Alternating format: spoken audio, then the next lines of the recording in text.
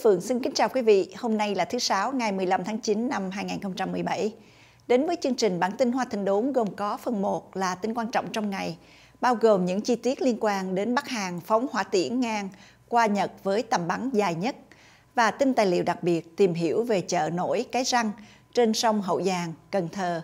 Trong phần 2, Bích Phượng có mời quý vị theo dõi chương trình Những vì sao chiếu sáng với luật gia Bích Hà, tìm hiểu về cựu thiếu tướng Lê Văn Hưng. Để mở đầu chương trình, Bích Phượng có mời quý vị theo dõi tin quan trọng trong ngày. Bắc Hàn phóng hỏa tiễn ngang qua Nhật với tầm bắn dài nhất.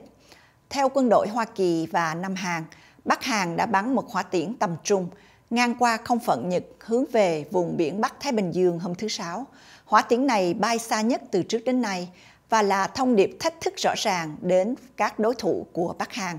kể từ sau khi Tổng thống Donald Trump cảnh cáo Bắc Hàn sẽ phải đối diện với hỏa thịnh nộ. Hồi tháng 8, Bình Nhưỡng đã tiến hành thử nghiệm hạt nhân mạnh mẽ nhất và phóng hai hỏa tiễn với tầm xa, ngày càng tăng bay ngang qua lãnh thổ của Nhật, đồng minh của Hoa Kỳ. Lần phóng thử hỏa tiễn liên tục địa lần đầu tiên của Bắc Hàn diễn ra hồi tháng 7 vừa qua.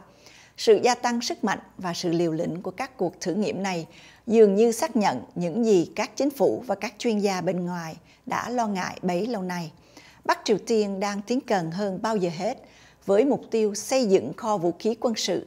có thể nhắm vào các căn cứ quân sự Hoa Kỳ, cả ở châu Á và lục địa nước Mỹ. Điều này cũng cho phép Bắc Triều Tiên có quyền tự quyết lớn hơn về quân sự trong khu vực qua việc làm, tăng sự hoài nghi của Seoul và Tokyo đối với việc Washington có sẵn sàng chấp nhận nguy cơ hủy diệt một thành phố của Hoa Kỳ để bảo vệ các đồng minh châu Á.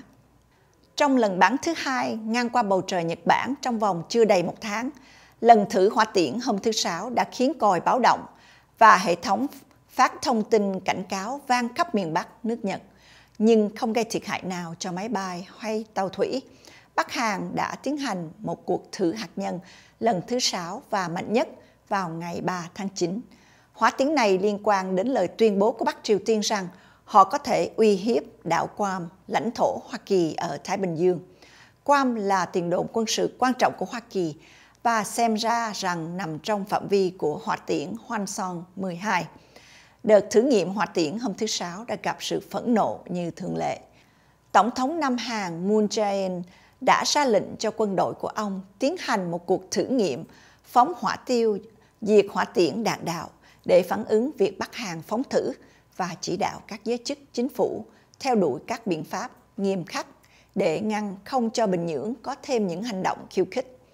Thủ tướng Nhật Bản Shinzo Abe và Bộ trưởng Quốc phòng Hoa Kỳ Jim Mattis đều gọi vụ phóng này là một hành động liều lĩnh.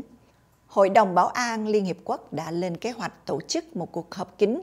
khẩn cấp vào chiều thứ Sáu ở New York Tổng thống Trump chưa đưa ra bình luận về vụ phóng thử mới nhất này. Hai lần phóng hỏa tiễn bay qua Nhật Bản cho thấy Bắc Hàn đang hướng tới việc sử dụng những góc bắn gần với góc bắn bình thường để xem liệu đầu đạn hạt nhân có thể tiếp tục hoạt động